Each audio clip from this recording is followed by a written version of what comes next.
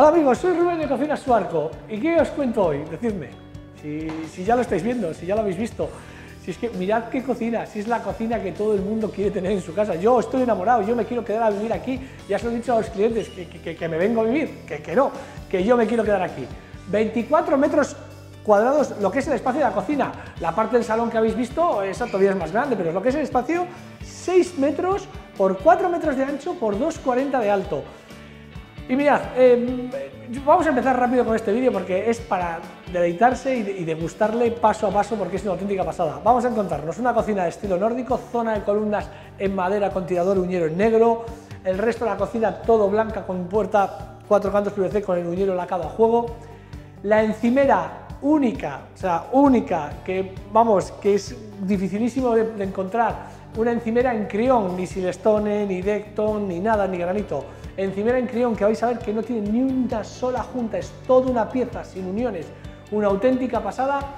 Y bueno, ¿cómo está fabricada esta cocina? En tablero de 19 milímetros hidrófugo, resistente a la humedad, el, fregadero en tablero marino que es todavía más resistente que el hidrófugo, bajos de altura 80 con pata de 10 90, cajones de extracción total con lateral alto y alfombría antideslizante, eh, todo con freno, bueno, en definitiva, que no le falta ni un solo detalle a esta joya de cocina porque es una auténtica pasada. Y vosotros me diréis, bueno Rubén, esta cocina de 24 metros cuadrados con esta isla, con todo lo que la rodea, con esta maravilla, ¿qué cuánto cuesta? Pues yo no lo digo, yo lo escribo. ¿Lo veis aquí, no? Apuntad bien estos números, ¿eh? Ah, ¿Los apuntáis? ¿Les tenéis bien apuntados? Bueno, una, dos, tres, apuntados. Pues ahora sacáis el móvil, divides entre 24 y así se pagan las cocinas en su arco. Financiación 24 meses sin intereses. Ya está, no hay letra pequeña, no hay nada. Financiación 24 meses sin intereses. Así que nada, un saludo muy fuerte a toda esa audiencia de Latinoamérica, mil millones de gracias por estar con nosotros domingo a domingo y esa audiencia española que bueno, que os voy a decir, que, vamos, que, que nos empujáis a hacer estos y muchísimos más vídeos. Así que hoy, calma, coger aire y empezar a disfrutar lo que vamos a ver porque esto es una auténtica joya. Así que comenzamos. Bueno, pues ya estamos en, el, medio del asunto. Aquí, a la hora del diseño de la cocina, teníamos algo muy claro. Con estas dimensiones y este espacio, sí o sí lo que queríamos era muchísima encimera de trabajo. O sea, la encimera es la reina. O sea, tenemos que tener mucho espacio de encimera. ¿Y cómo hemos hecho? Haciendo una distribución en forma de L, más luego una isla y luego la zona de columnas en tono madera. De ahí el estilo nórdico de la cocina. Otra cuestión importante, que ya la estáis viendo, no vamos a poner ni un solo mueble alto, excepto esta estructura que hemos hecho, que mide de ancho 95 centímetros, bueno, realmente el 95 centímetros, que el, grupo filtrante es de 90, más todos los laterales y todo, total 95, y aquí lo que hemos hecho ha sido encajar el grupo filtrante, ¿vale? Lo hemos, forrado todo del mismo material que las puertas, es decir, un blanco supermate acabado seda con cuatro cantos PVC, y al hacer esta estructura, como veis, queda perfectamente integrada con la encimera y con las puertas. Por lo tanto, intentamos darle esa continuidad a lo que es la parte de la campana y que pase total y absolutamente desapercibida. Segunda cuestión importante, en esta zona de la L, la zona corta de la L, hemos, hemos querido colocar la zona de cocción. ¿Y qué es lo que hemos hecho? Bueno, pues aquí tenemos una placa de inducción de ancho 90 centímetros, en este caso estrecha de fondo 35 de la marca Siemens, y claro, si tenemos placa de inducción de 90, ¿qué es lo que tenemos? Un cajonero de un metro, ¿vale? ¿Para qué? Para dejar centrada la placa de cocción con el grupo filtrante. A la derecha, para cargar todavía superficie de encimera, claro, no estar cocinando y que parece que se te va a caer algo, ¿qué es lo que tenemos? Bueno, pues tenemos un cajonero de 60, ¿vale? Dos caceroleros, costado visto al suelo con su protector metálico en, color blanco, porque esta es una zona crítica de paso, ya sabéis que estas zonas hay que proteger especialmente porque puedes pasar, no sé, con cualquier cosa, tropezarle y dañar la esquina, al fregar, al barrer, bueno, esos detalles hay que intentarles cuidar para que la cocina nos dure en perfecto estado mucho tiempo. Y aquí tenemos, bueno, pues guardando siempre la misma estética en toda la parte baja, dos caceroleros. Pero, ¿eh? Con un matiz, que os pensabais que se abría un cajón primero y otro después. No, bueno, en este caso los clientes necesitaban, fue una petición expresa, querían una puerta entera con carro extraíble, con cajón extraíble en la parte baja, ¿para qué? Para poder almacenar productos de gran tamaño, bueno, desde una tabla como para cortar el jamón, garrafas de 5 litros, bueno, querían tenerlo perfectamente preparado, entonces ¿qué es lo que hemos hecho? El cajón extraíble con dos puertas unidas, con los dos frentes de cajón unidos y un cajón interior. En este caso, fijaos cómo tiene ordenado todo el tema de las especias, etc. Y bueno, pues es un cajón de gran capacidad, que bueno, que cuando hay una petición expresa, como es este caso, pues se hace sin ningún problema. Y cierre progresivo con freno. A continuación, como os contaba, siguiendo la misma estética, cacerolero de 100, dos caceroleros, fijaros con qué facilidad, con dos dedos, cómo se abre, ollas, todos los cubiertos, lateral alto, alfombrilla antideslizante para poder apilar en altura, y el segundo cacerolero, bueno, este ya tiene más miga, ¿eh? aquí están todas las tapas, ollas, bueno, ya, veis la capacidad que tiene. Bueno, pues como os comentaba, la importancia del lateral alto para que no se nos cuele nada entre la varilla y el lateral, pues lo cerramos entero de una pieza. Y sobre todo, la facilidad con la que se cierra. Cierre con freno. A continuación, ¿qué tenemos? 60, 100, 60. Dos caceroleros. En este caso no era necesario poner el cajón interior, Queríamos una especie de robot de cocina que es bastante grande, por eso no hemos puesto cajón interior. Y el segundo cacerolero. Otro detalle importante que ya empezáis a ver es la encimera de crión, el material de porcelanosa, es decir, este material que es lo que tiene, que lo vais a ver a lo largo del vídeo y lo voy a remarcar. Es un material que se hace entero de una pieza y que no tiene juntas, no tiene uniones, a diferencia del silestone, el decton, el granito, que sí que lleva uniones y bueno, hay que pegarlas, etc. Esto es todo de una pieza, hasta el copete. Si os fijáis, el copete hace la curva y es toda una pieza, ¿vale? O sea que esto es un material muy exclusivo para cocina y que le da un toque total y absolutamente diferencial que no se consigue con ningún otro material. Giramos, ya vamos a entrar en la parte larga de la L. Si os fijáis, generalmente si esto hubiese sido silestone, decton o granito, aquí posiblemente hubiese llevado un corte para unir las dos piezas. Pues nada, como veis, no hay absolutamente ni una sola unión. ¿Y qué es lo que tenemos para dar continuidad a la zona principal de la, de la L que nos va a llevar a la zona de aguas? Un rinconero ciego que va desde aquí hasta aquí. Es decir, que tenemos un mueble rincón de un metro diez. ¿Y qué es lo que tenemos en nuestro amigo el mueble rincón de un metro diez? Bueno, siempre manteniendo la misma estética para que continúe toda la parte baja igual, es decir, estética dos caceroleros, pero es puerta unida, apertura lateral, y tenemos el extraíble rincón ciego. Si no tuviésemos esto, ¿qué hacemos? No me digáis que nos vamos a meter ahí dentro, ¿eh? porque entonces ya me voy del vídeo, directamente corto. No, no, no, no. O sea, hay que poner un extraíble. Y aquí es donde hay que invertir el dinero, porque realmente esto es lo que te hace el día a día de la cocina más cómodo. Bueno, ya veis la capacidad que tiene, porque este es un rinconero de los que está cargado de verdad, ¿eh? Este no engaña, ¿eh? como podéis observar. Fijaros todas las botellas que tiene, este sale, el de abajo, etcétera. Bueno, pues aquí queda todo perfectamente atado, todo perfectamente ordenado, mejor dicho, todo perfectamente accesible. Habéis visto que prácticamente no me he tenido ni que agachar para poder coger todo lo que hay. Y si esto no estuviese, bueno, vamos, eh, es que me da hasta miedo, a ver, a ver si me voy a lesionar al meterme ahí dentro, ¿no? Bueno, son muebles complejos y como os digo, tenemos que poner esta solución.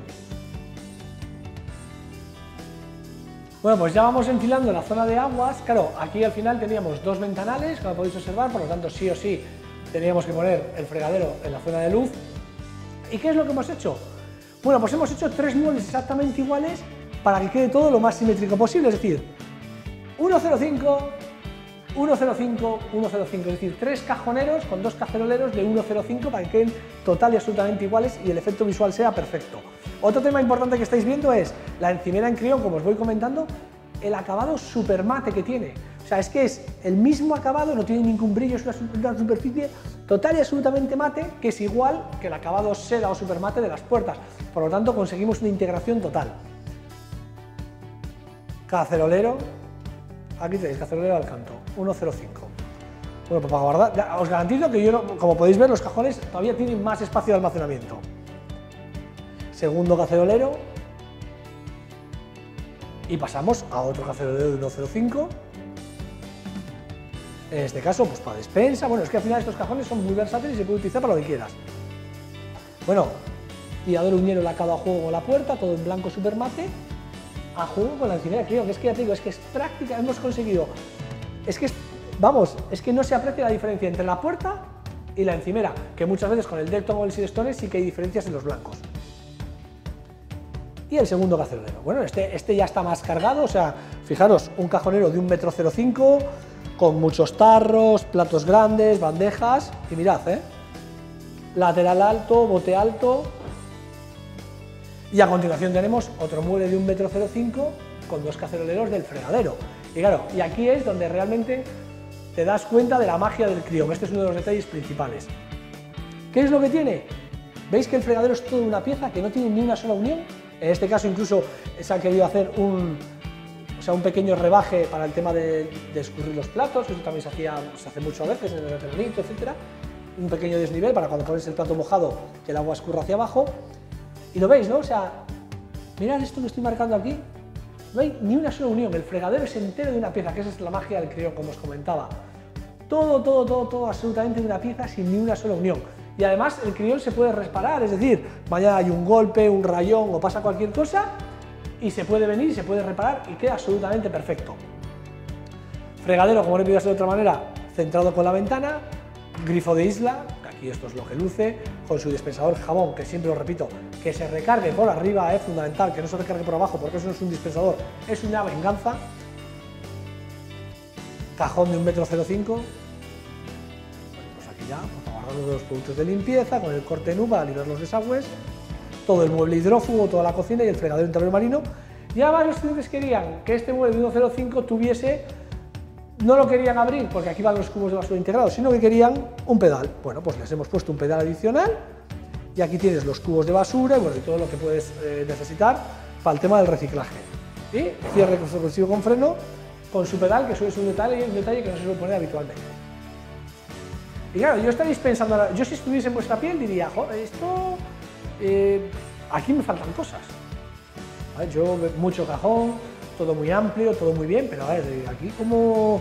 A ver, ¿qué? Sí, tenemos aquí el fregadero, mucho cajonero, mucho espacio, pero aquí ¿qué? ¿Y cómo, ¿Y cómo lavamos los platos?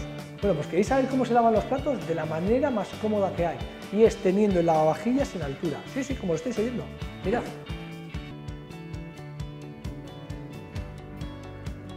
Claro, Voy a cerrar.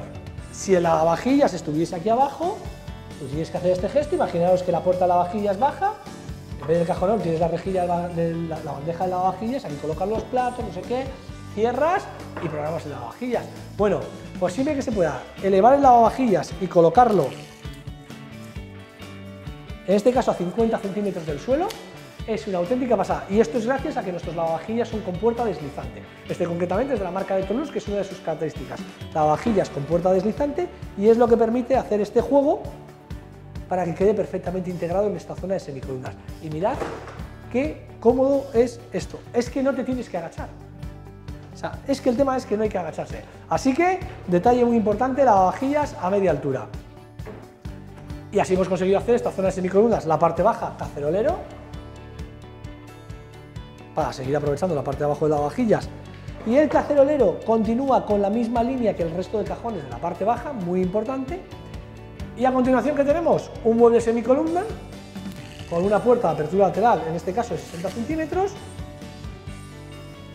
Pero claro, no es un mueble con, con puertas, o sea, perdón, no es un mueble con puertas, no, que puerta tiene, no es un mueble con baldas, sino que es un mueble hecho y exclusivamente para almacenar todo a modo de despensa, que en este caso no lo tienen a modo de despensa, sino que lo tienen de almacenaje de la vajilla, como podéis observar, en el cajón inferior.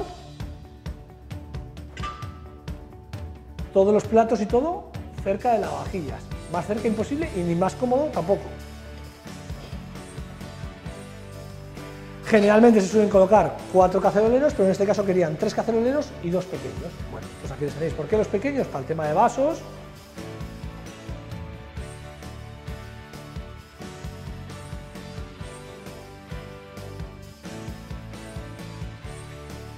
Antes de dar paso a la zona de columnas, cocina de 24 metros cuadrados, esto no puede estar vacío, o sea, no, me faltaría algo, es de obligado cumplimiento colocar esta isla tan estupenda de 1,85 m por un metro de fondo.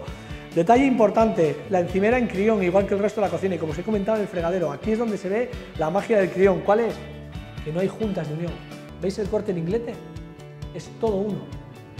Esto es lo que hace diferente al crión al resto de materiales para encimera. Otro detalle importante, en esta superficie tan amplia de trabajo, sí o sí, teníamos que tener un punto de luz. Aquí tienes que enchufar una batidora, cualquier cosa, el tostador, la cafetera. Oye, necesitas tener sitio donde poderlo, donde poderlo dar uso. Y además estos enchufes hoy en día ya vienen con toma USB, que cada día es casi más importante que los enchufes normales. La tablet, el móvil, con tus recetas de cocina, etcétera. Bueno, pues todo eso, todas esas soluciones están cubiertas con este enchufe escamoteable que queda aquí, que tocándole se abre perfectamente. Y la isla de que está compuesta de dos cajoneros de 90. Cajón, cajón pequeño, con su a juego, los dos cajoneros, segundo caceroleros, es decir, más almacenaje todavía, pero bueno, aquí se va llenando todo en esta casa. ¿eh? Ya veis el lateral alto, lo que te permite ir apilando en este caso todos los manteles, servilletas, etcétera. Y el, y el tercer cacerolero, en este caso segundo cacerolero, mejor dicho, bueno, pues tienes todo perfectamente ordenado en la cocina. Es decir, en la cocina guardas todo, todo, todo lo que necesitas en la casa para, para el día a día. Y la parte trasera de la isla la hemos hecho a modo de barra, es decir, si los muebles tienen de fondo 60, la isla mide prácticamente fondo 40, es decir, tenemos un metro que os he comentado, entonces aquí te puedes colocar los taburetes, etcétera, que yo he querido tenerlo despejado para poderos mostrar todo en detalle, pero esto es a modo de barra y aquí te puedes sentar y meter los pies perfectamente. Otro detalle importante del crión y que le da un toque diferente es esta luz indirecta que está por debajo. ¿Qué es lo que se ha hecho en la encimera? Hemos hecho una ranura en el crión y hemos colocado una tira de luz Bueno, pues le da un toque diferente a la cocina. Otro detalle importante, la tapa, esta es la tapa trasera de los dos cajoneros que acabamos de ver, va hasta el suelo y como también aquí es una zona donde vas a estar con las banquetas, sentado, etcétera, de mucho movimiento, hemos colocado un protector metálico al suelo del color blanco para proteger la base de esta tapa trasera de los, de los dos cajoneros de 90 que acabamos de ver. Bueno, ya llegamos, oye, a la parte, a la parte trasera de la cocina. Claro, no todo iba a ser blanco, ¿eh? Además, como habéis, os habéis fijado en el suelo, que el suelo es un color eh, hormigón muy clarito, un gris muy clarito, pero que lleva con tiras de color madera. Entonces, ¿qué es lo que hemos hecho? Un poco a juego con el suelo y por romper un poco con la cocina, hemos colocado toda esta zona en color madera, con el detalle del tirador uñero en color negro, a juego en este caso con el electrodoméstico. O sea, que le da un toque un poquitín más diferente. Otra cuestión importante, si os fijáis, esto no tiene zócalo. No hemos querido hacer zócalo como el resto de la cocina. ¿Por qué? ¿Qué es lo que hemos hecho? Hemos hecho las puertas prácticamente hasta el suelo, en estos casos unas columnas de 2,18, se han hecho las puertas hasta el suelo, ¿para qué? Para que abajo la sensación que te dé es que no veas ningún rodapié y solo veas la puerta, aunque por dentro esté el rodapié. ¿Cómo hemos distribuido esta zona de columnas que mide este frontal 3,70 con los remates? Columna de 60 centímetros, veis el tirador uñero negro con la puerta, ¿y qué es lo que tenemos? Frigo integrable. En este caso querían tener solamente un aparato que es columna frigorífico integración, la base en tablero marino y su hueco encima del frigorífico, bueno, pues para almacenar lo que se quiera. ¿Veis el detalle, no? El mueble lleva rodapié, porque le lleva en color negro, pero la puerta baja esos 9 centímetros más para tapar el rodapié. Columna con microondas, en este caso el microondas en el medio y la parte baja, ¿qué es lo que hemos hecho? Apertura lateral de la puerta y aquí hemos colocado un congelador pequeño. Esto es una cosa consensuada con los clientes, querían tener frigorífico grande, ya tienen un arcón de congelador en otra parte de la casa y querían tener aquí en la cocina simplemente pues, un congelador pequeño pues, para dar servicio a toda la zona de cocción. Y la base, del, la base del mueble también en tablero marino, que es todavía más resistente que el hidrófugo. La parte alta, apertura lateral con bandas y cierre progresivo con freno. Ya veis, puerta en color madera, con el modelo el roble rustic, con el perfil en negro para poder meter la mano y abrir. Y cierre progresivo con freno. A continuación, ¿qué tenemos? Bueno, pues tenemos dos muebles más. Puerta de 60, puerta de 60 con sus uñeros pertinentes. Y claro, abrimos este mueble, pues que se supone que será pues, un mueble, abres una, una puerta lateral, con despensa, ¿verdad? Eso es lo que estabais pensando que ibais a ver aquí, pero como veis no es así. ¿Por qué? ¿Qué es lo que tenemos? Bueno, tenemos la joya de las joyas. Este es un armario con puertas escamoteables, es decir, que entran hacia adentro, como podéis observar. Y este es el mueble que llamamos nosotros el aparador de desayuno, ¿vale? Claro, esto es una auténtica gozada.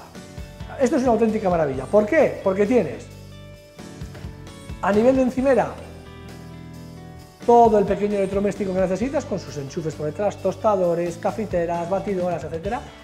Parte alta con baldas para guardar todo lo, necesario para el desayuno, tazas, vasos pequeños, vasos grandes, como podéis observar, todo hecho del mismo material que las puertas, es decir, todo el interior decorativo, igual que en el caso en, las puertas en color madera, y la parte baja, que es lo que tenemos, cajonero para dar servicio a toda esta zona, como podéis observar, para cortar el pan, con bolsa para el pan, bueno, el típico cajón con todas las infusiones, tés, etcétera, con todo, bueno, como comentaba, todo lo referente al desayuno, segundo cajón pequeño, en este caso pues, tiene cápsulas de expreso para la cafetera, otro cajón más pequeño.